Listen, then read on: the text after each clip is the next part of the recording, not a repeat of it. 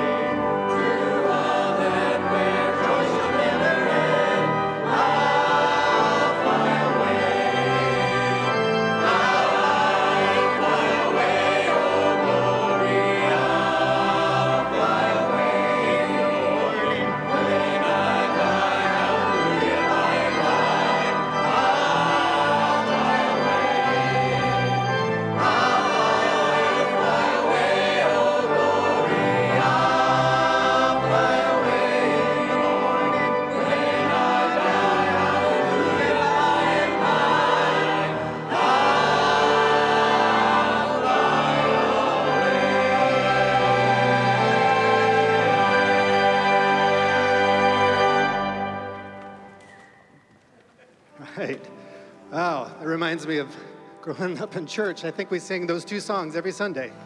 All right, it's kids' moment. I know I'm not Mr. Kevin. It's okay. Any kids in the congregation want to come down, sit on the stairs with me? Yay! Mr. Kevin's at home uh, recovering from a little procedure, and Miss April is out traveling, so you get me today. How about that? Yeah, they're very excited, I can tell.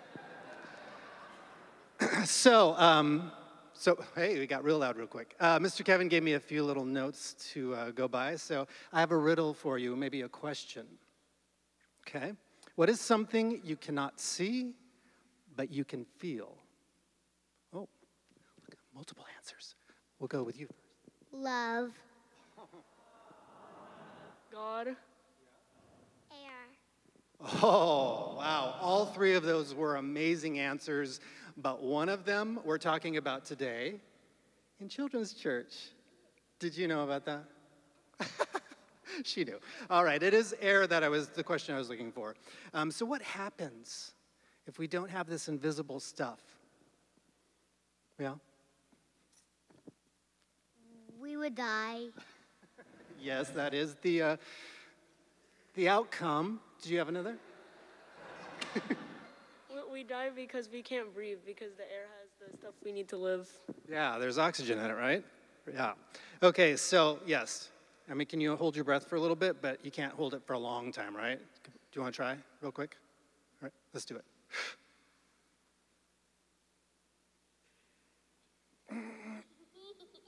Oh my God.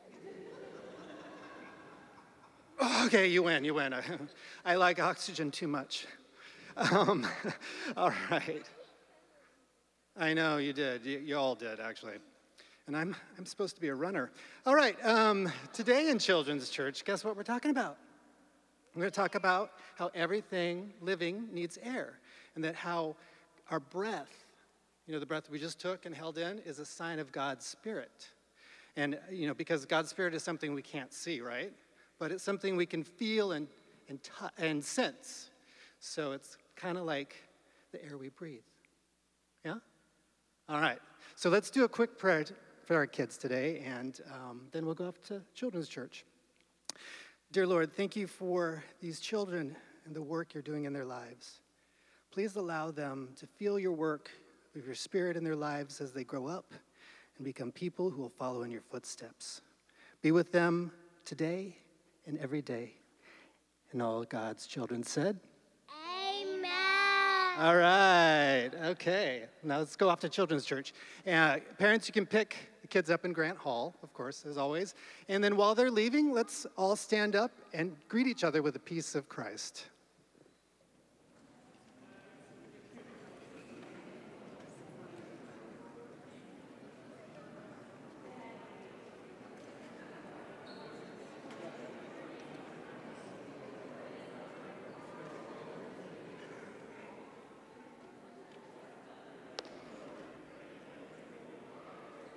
Yes.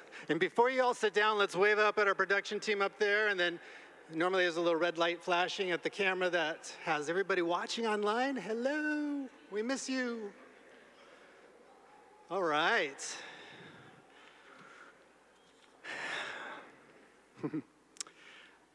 As we uh, get ready, prepare ourselves for a time of prayer, let's take a moment, if, you will, to uh, just rest in the presence of God. Sit back, take a deep, calming breath, and let's listen to the words of our chancel choir as they lead us into prayer.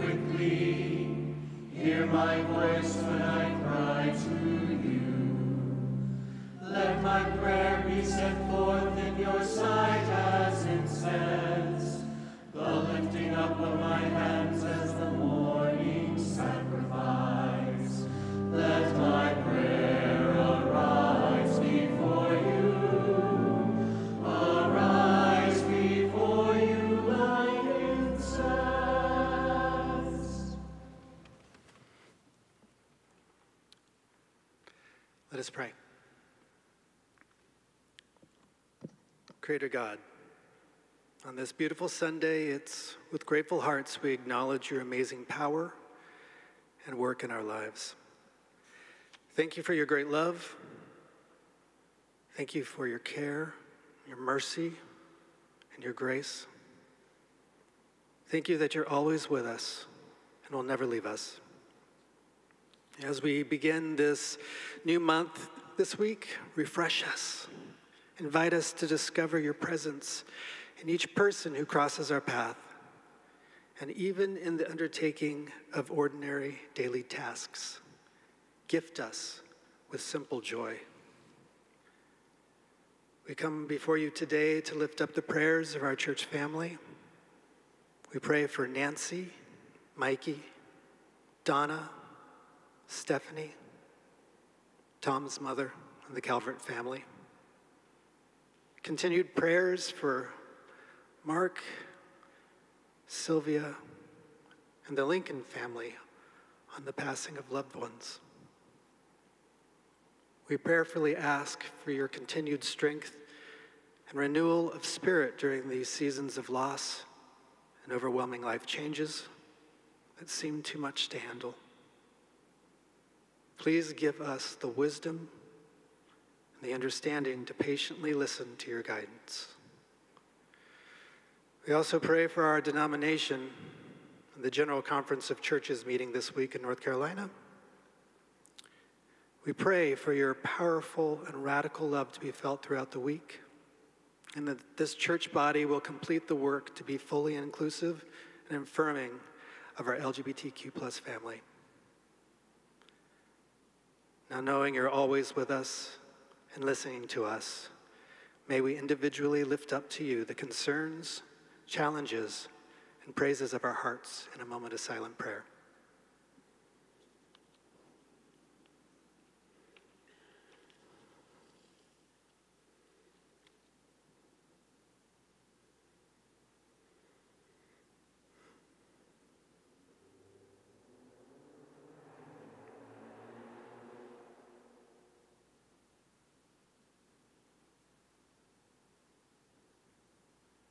Lord, we thank you for the power of your grace you continually give to us. We seek your hand in our physical, emotional, and spiritual healing. May you work in us so that we may find comfort and hope as we rest in your presence. And now we offer the prayer that Jesus taught us to pray Our Creator, which art in heaven, hallowed be thy name. Thy kingdom come, thy will be done, on earth as it is in heaven. Give us this day our daily bread, and forgive us our trespasses, as we forgive those who trespass against us. And lead us not into temptation, but deliver us from evil. For thine is the kingdom, the power, and the glory forever. Amen.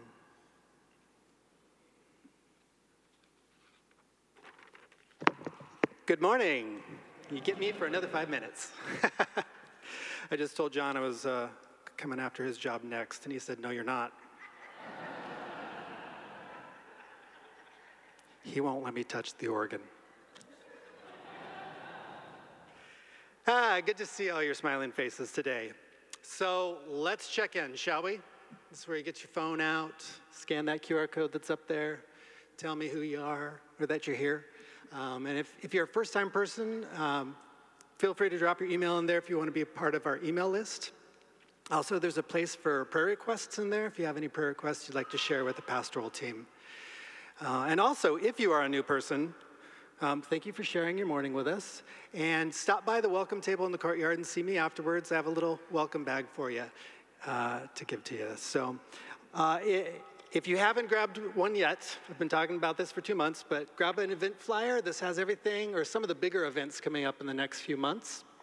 You can take that home with you and put it on your fridge. That's what my mom used to do. Um, today, we have our Sunday Adult Study Group um, meeting. That's the, Tim likes to call it Sunday School. You can call it whatever you want. Uh, but Tim and Reved's class will be meeting in the chapel at 12:15 after church. And then a couple things coming up next weekend. Saturday, May 4th, we are going to help make tamales for an organization called Nino, which is the Northeast Neighborhood Outreach. I got it right this time. Matt gave me the thumbs up. Uh, so that's happening at 1 o'clock. It's just a couple hours in our kitchen in the back. Will be some steaming and making tamales. So if you can help out with that, please show up. And you just go to the back gate, um, which is kind of we call it the Oaks Gate, but it's the gate by the gym in the back, and we'll let you in back there. Also, May 5th, the next day, which is Sunday, we're going to be doing a blessing bag build. And we could use as many hands as possible because we're going to create over 500 bags for the summertime that we will be able to give out uh, individually. You guys can take some home and put them in your car. Um, but give out to people in need over the summertime. So if you can help out with that, we're doing that directly after church in the gym next Sunday. And then something to put on your calendar, it's also on your little event flyer Mother's Day brunch. We're going to be celebrating all the motherly figures in our lives with a brunch on that day. Uh, and also, if you can, please bring a picture of the person you want to celebrate and put it on the altar before church. Um, we're going to have a little Mother's Day altar. Um, display of, uh, I think, we, oh yeah, we have it from last year up there. So it was really, really cute. And uh, some people brought some great pictures of the mother figures in their lives. So be a part of that if you can in two weeks. Okay, everything we're doing today. If you have any questions, you can just come out and see me in the courtyard afterwards. I'll be by the welcome table. But we do have a lot of great things coming up over the next few months. And uh, all of those things, all the outreach, all the volunteer opportunities and events all happen because of you through your prayers, your presence, your service, volunteering, and also your gifts. So, as the ushers come forward and we put up a QR code for online giving, please give as you're able so we can continue to grow this ministry here in the heart of Hollywood. Thank you for being here today.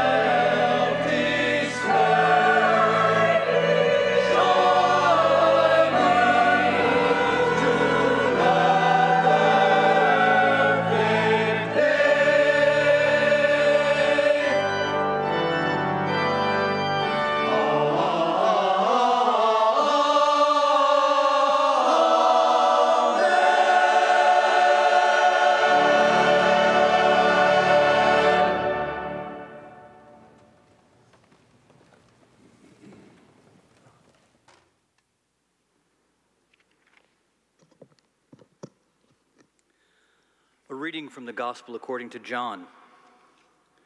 Do not let your hearts be troubled. Believe in God, believe also in me. In my Father's house there are many dwelling places. If it were not so, would I have told you that I go to prepare a place for you?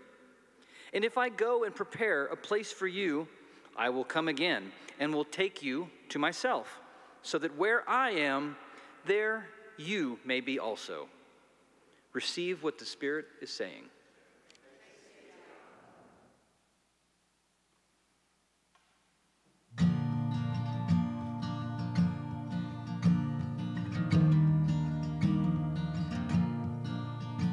There's a gray river of doubt between my head and my heart.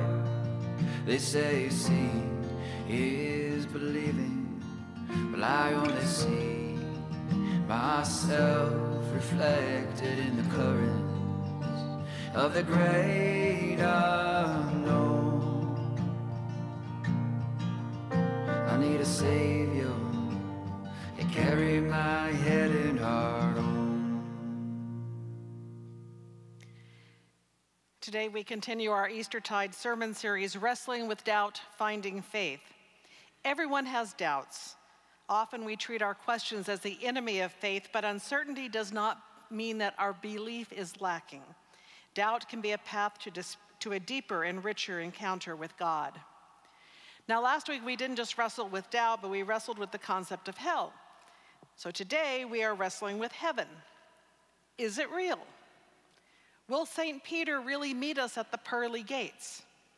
Is it like I often share at memorial service? Is heaven a great big old Methodist style coffee hour made even more magnificent by being in the presence of God? Or is heaven, as Belinda Carlisle claims, is heaven a place on earth? Okay, that's as good as the jokes get in this one, so I'm just saying right there. Or as it was described yesterday at the Drag Queen World Series, where I offered the invocation, is heaven our loved ones playing in the big field above? Journalist Lisa Miller, in the introduction to her book Heaven, Our Enduring Fascination with the Afterlife, wrote that the idea of heaven defies logic, but in my mind, it represents hope, and I believe in hope. A 2021 Pew study found that 73% of Americans believe in heaven, including 26% of agnostics and 3% of atheists. You see, even a few atheists believe that there's a place of love and happiness and joy after this life. Within the Jewish and Christian scriptures, like our conversation last week about judgment and hell, we can see how views of heaven have evolved over time. The Israelites had little interest in speculating about Sheol, later known as Hades, the place of the dead. But there are glimpses of the afterlife in the Old Testament. Isaiah 25 gives us a beautiful and hopeful picture of the defeat of death and presumably a glimpse into the afterlife that is follows.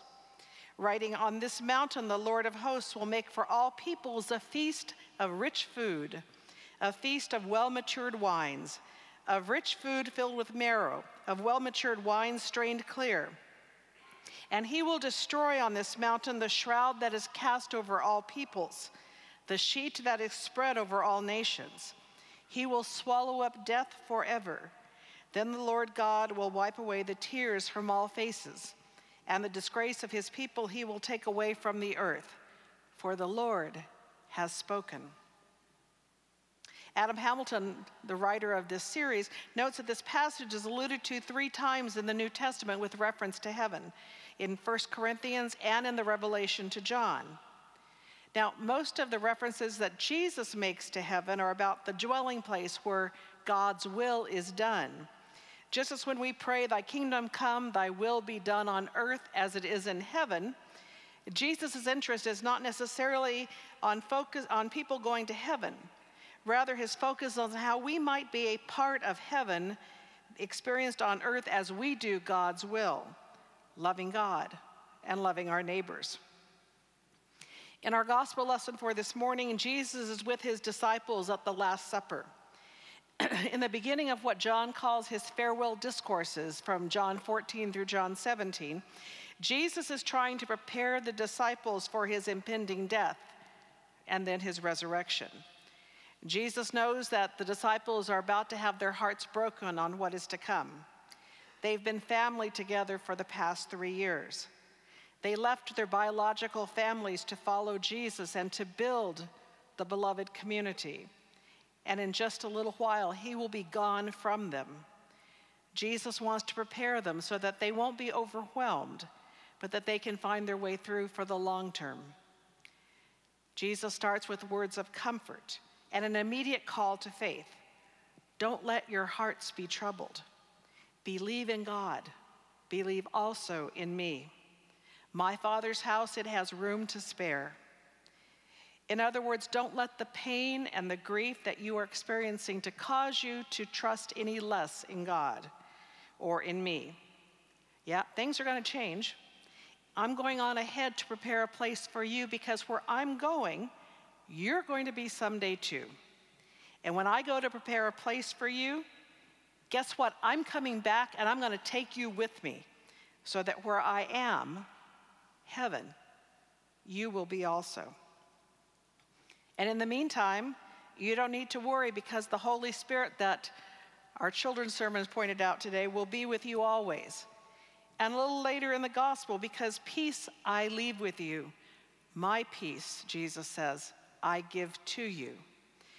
I don't give to you as the world gives. So when you are experiencing uncertainty and change, when you're in the midst of pain and grief, Jesus says, My peace, the peace I give to you, it's different than anything else. It's a transforming peace. It's a peace that will allow us to move through our grief to hope and to love again. It's the peace that says, even in the face of death, hold fast to your faith in God who created you, who loves you, who longs to hold you and comfort you like a parent comforts a child. It's the peace that I think of as God's Spirit surrounding us, enveloping us from head to toe, assuring us of God's love no matter how hurt our hearts might be. When we claim the peace that Christ gives us, the peace that is not of this world but is of God, we have something to hold on to. We have the power of the risen Christ.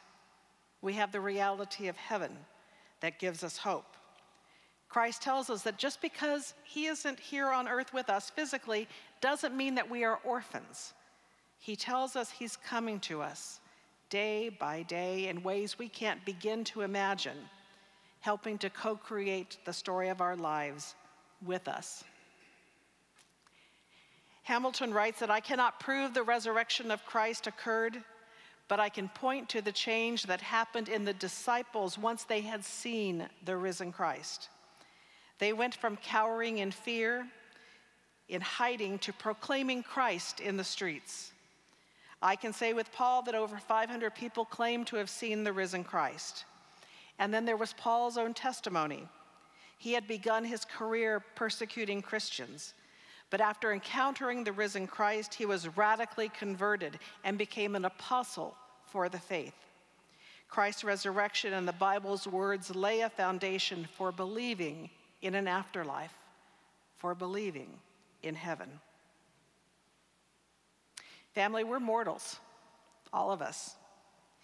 And until we face the fact of our own mortality, we can't really begin to live. We live in a state of perpetual anxiety. The great 20th century theologian Paul Tillich defined anxiety as the state in which a being is aware of its possible non being. Like all other animals, we will die. Unlike other animals, as far as we know, we know, we know that one day we will die. That is our dilemma, but it's also our hope. Because it's the knowledge of our own mortality that causes us to ask the ultimate questions about the meaning of life and death. Tillich said that there are several questions which every human being must ask and answer in order to be truly human. What is the meaning of life?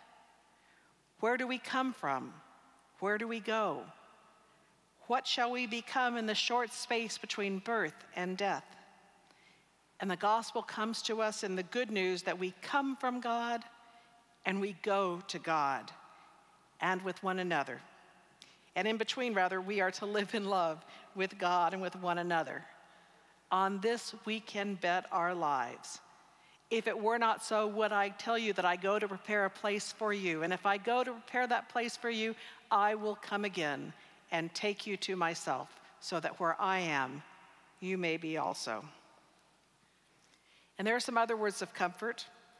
Martin Luther, the great Protestant Reformation leader, believed that our pets will join us in heaven too, writing, Be thou comforted, little dog, thou too in resurrection shall have a little golden tail. I'll close with a story about an old country doctor who made his rounds in his old truck. He had his dog with him as he went to visit patients, and he stopped at one house to visit a man who was on hospice dying of cancer. He entered the man's bedroom to check on him, and the man asked the doctor, How am I doing? And the doctor replied, It, it doesn't look good.